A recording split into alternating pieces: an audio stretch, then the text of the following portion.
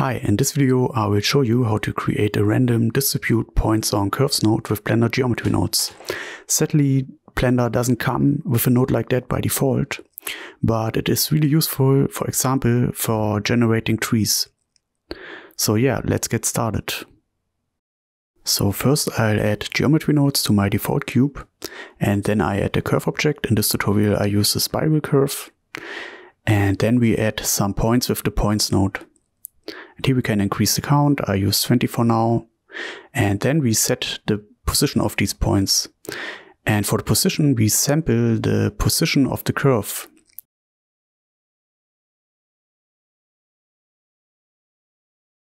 Now to display both, I use the join geometry node. And here we can see what happens if we increase the factor. So we move the points along the curve. Right now every point is at the same position, but for example, if we use a random value, we can use a random factor for each point's position.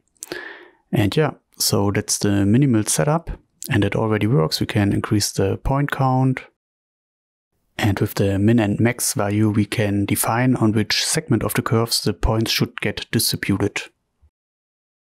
Right now the setup works really well with a single curve, but there's a problem with multiple curves. So for demonstration purposes, I simply instance some lines on another line. So I create an array of line objects.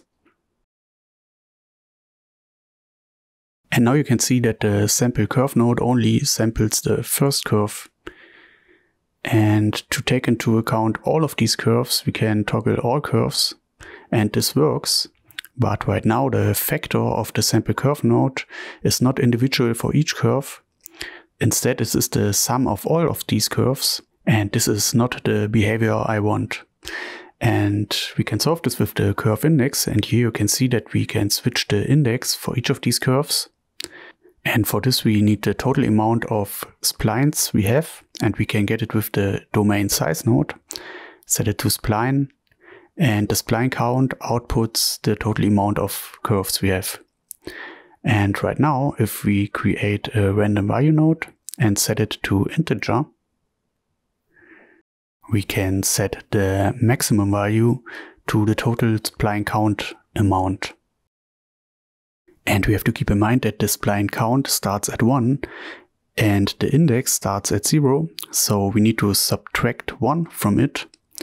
And now if we connect it into the curve index socket of the sample curve, it should work. So here we test it by setting the maximum and minimum and you can see that the behavior is as expected.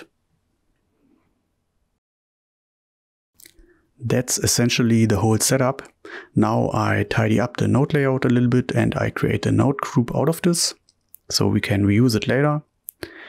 And I create inputs for the seed, the count, the max and min value.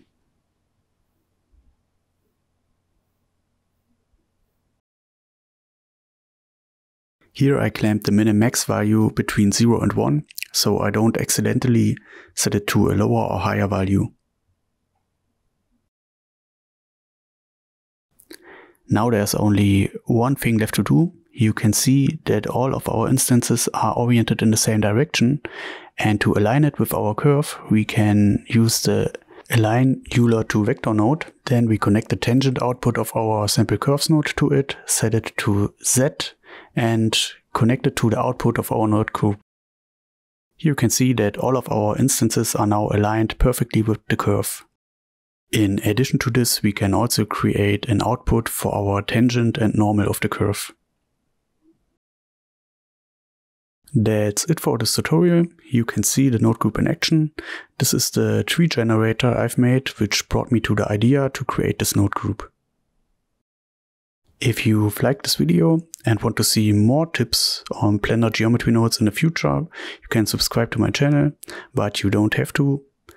So yeah, see you next time.